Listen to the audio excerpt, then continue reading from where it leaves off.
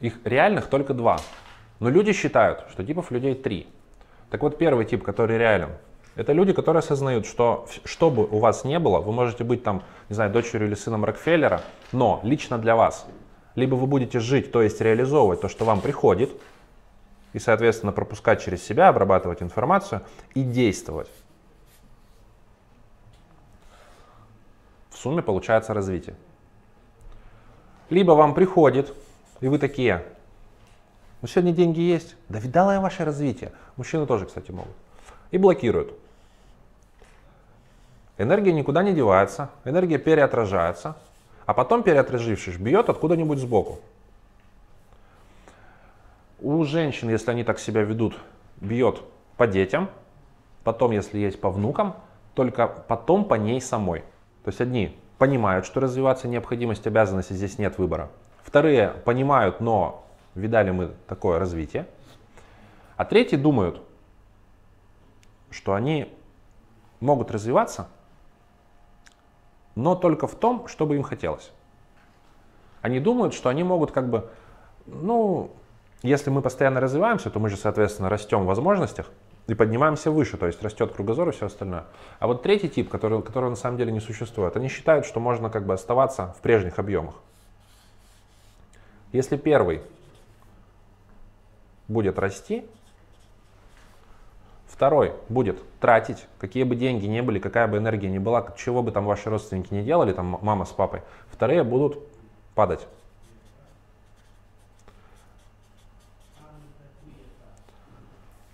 падать в состоянии, то есть нет счастья в жизни.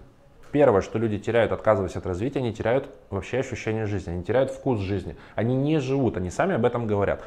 Даже если есть деньги, если нет денег, какая разница? Мы не живем. То есть падать будет состояние в первую очередь. Почему кататься на велосипеде так увлекательно? Потому что для большинства толкнуться и поехать на двух колесах было ну просто верхом риска. Ну скорость же а ты уже сам себя держишь, ты чувствовал себя живым, состояние росло. Потому что ты усваивал новое. Так, ну это у нас первый тип, это, соответственно, второй. А во-вторых, падает состояние. И они не замечают. А потом переотраженная энергия на какое-то там время-то походит, а новое каждый день выделяется. Потом уже начинается всякое разное. Всякие там ДТП, падение на ровном месте, сворачивание себе шеи просто своими мышцами, потому что ты там на эмоциях чего-то там не то подумал. Падает состояние, за ним состояние сначала душевное, а потом за ним состояние физического тела. Отказ вы делаете из своей силы. Отказ – действие активное. Вы активно отказываетесь. Если вы не замечаете, когда вы это делаете, так вот вот этот вот плюс один тип, они думают, что как раз можно между ростом и падением до состояния не выбирать. То есть можно остаться в прежних границах. Но я уже на том листе объяснил, что остаться, остановиться. Остановка. Ложь. Прежних границах никто не останется. В пятилетнем возрасте у нас рост, ну где-то вот. В 20-летнем, соответственно, вот. Что конкретно вы хотите остановить? Рост физического тела? Давайте остановим тогда восстановление кожи.